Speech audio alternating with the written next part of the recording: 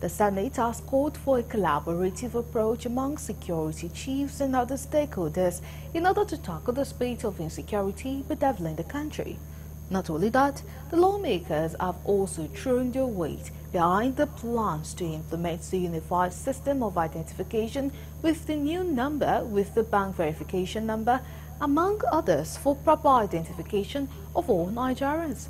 Correspondent Kunle Ojo reports that these and many more were part of the resolution reached at the end of a nine-hour meeting between security chiefs, ministers and other stakeholders involved in security apparatus of Nigeria and members of the 10th Senate under the leadership of Senator Godswill Akpabio. The meeting urged the federal government to make citizenship registration compulsory for all Nigerians in order to reduce threat posed by insecurity to the country. The Senate listened to the comprehensive briefings by the National Security Advisor and briefings from the security chiefs on the state of the nation particularly the state of security and insecurity, including reported issues of killings, kidnappings, and other criminal activities currently bedeviling the nation. The Senate then stressed the urgent need for the security agencies to adopt proper synergy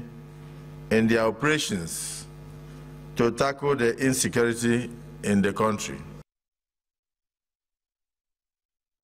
Also, the meeting emphasized need for the federal government through the Ministry of Finance to ensure timely release of all approved funds for the security agencies to procure arms and other facilities that will aid their constitutional duties across Nigeria.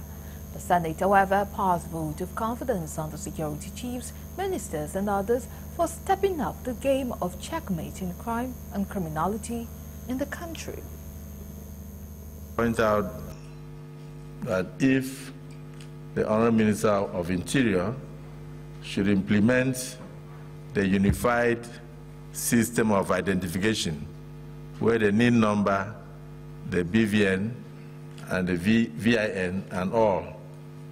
can, at a, a eh, eh, press of the button, bring out all particulars concerning anybody, that it will be a better thing for Nigeria.